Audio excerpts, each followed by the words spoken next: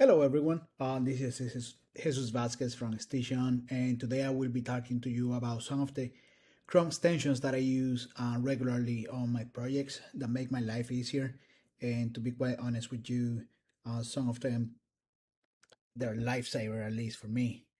Um, but without boring you too much, I want to start with the first one. The first one is no doubt the best Chrome extension for those of you that are developing and using Bubble uh, that is Atomic Fusion. Um, and Atomic Fusion is a lifesaver because you're able to get not only block components, UI kit, and landing pages, but also code snippets um, and some other goodies that will make your, your life easier. And their code repository, they have over 100 snippets of code uh, that you can get for your project, and all you have to do is copy them, paste them, and read the instructions if there are any, just to make sure that you're understanding uh, what it does and how to apply it. And that's just a lifesaver. Now under Chrome extension, uh, you can get UI kits. Um, you can get, and all you do is uh, you copy them and paste them into your project. It's not that hard. It's actually uh, pretty nice. Um, I'm going to do one for you just for you to see what I'm talking about, but oops. I need to convert this into a responsive engine. But it's definitely a lifesaver for me because you know I really like going fast um, when I'm building stuff. And here it is um, it just pastes everything how it, it was um, on the image before. So really nice. Um, you get the opportunity to just get the design there and then uh, you make it fit fit however you want it to look like. Um, in addition to that uh, you got some landing pages uh, that you can again just copy and paste. And you got some block components uh, there is a glitch for some reason and the titles are not showing up but um, yeah you got some block components that you can just add to your application to your design. Uh, here is the code locker. All it does is you click here and it opens up a new tab uh, with the code repository.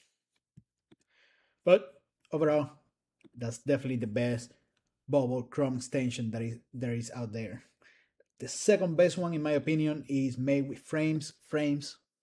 Um, their website is madewithframes.com but basically this one allows you to uh, again get different uh, widgets that you can just copy from here and paste here into your design. Again not that hard but they have gone through the process of making them um, being responsive just like atomic fusion and you know time saver money maker. So that's really nice about uh, the frame and the atomic fusion uh, extensions. The third best one is uh, this Chrome extension from uh, no code developers. And basically, what it does is that depending on which uh, no code website you're in, it would show you relevant um, tutorials from around the internet. So here's some for um, bubble.io. Uh, now, if I go to the Adalo website, uh, you're going to see that it's going to show me some Adalo uh, tutorials. And it automatically fill this out. Uh, just so so you you can see that I'm not uh, BSing you going to the Thunkable website. I open it. And there you go. It populated on the website. It identified that it's Thunkable and it's showing me Thunkable tutorials. Definitely a lifesaver.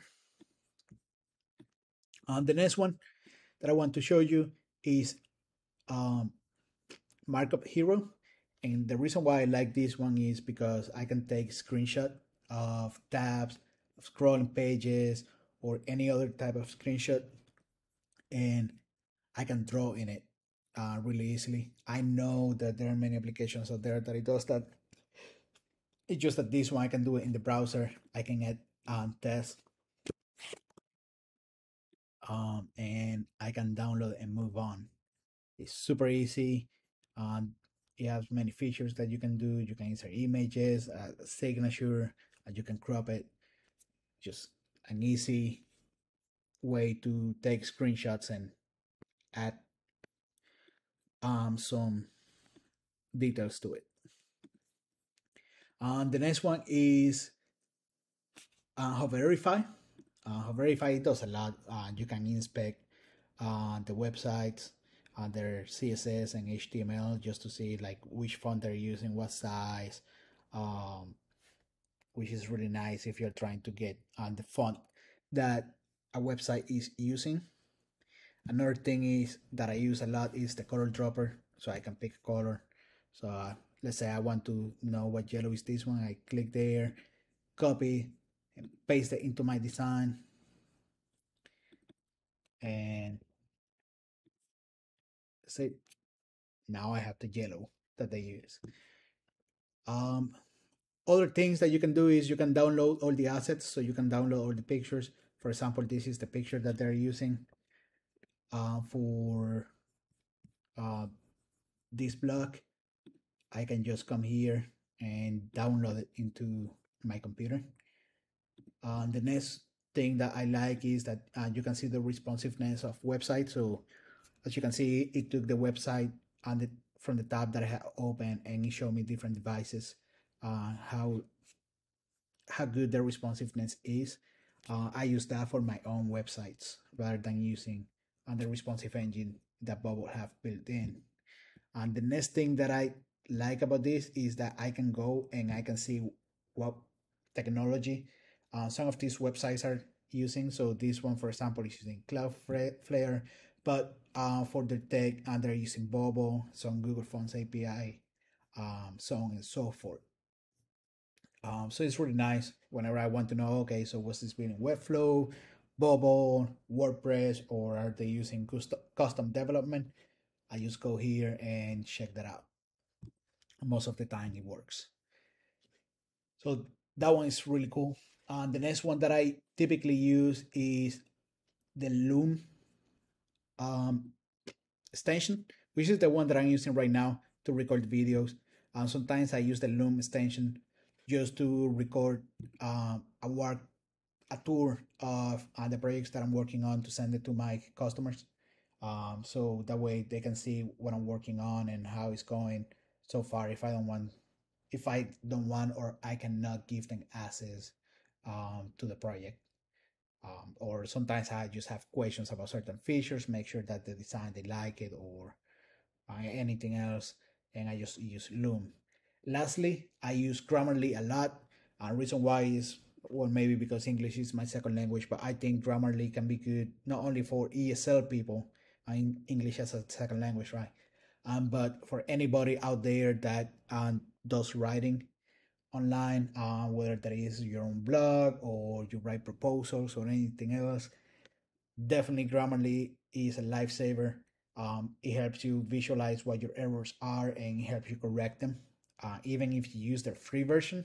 And that's good enough for most people, especially if you are fairly good in English, uh, writing in English.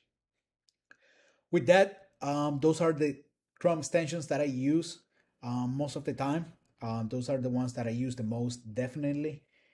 And what I would like you to do is I want you to leave in the down below in the comments some of those Chrome extensions that you're using that I didn't mention here. I would like to learn what those are, and I would like to uh, figure out which ones uh, could help me uh, with my own develop, uh, developments.